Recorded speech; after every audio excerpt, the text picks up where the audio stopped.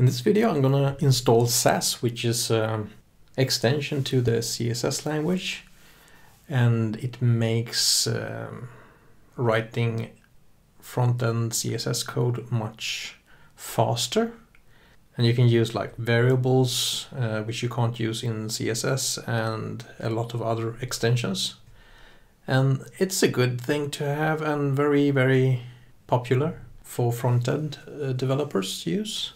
You head on to sass-lang.com and you get this web page.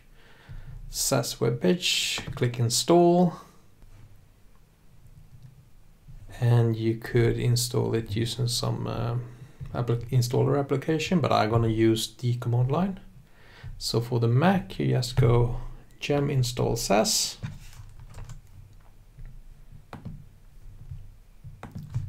gem install sass in your home directory.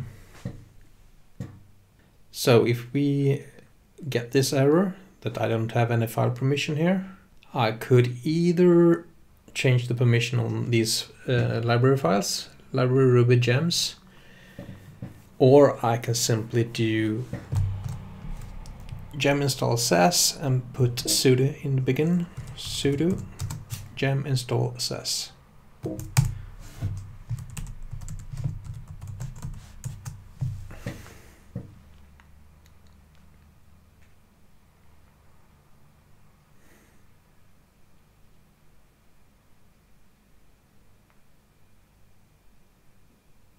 And we can do sass-v for the version.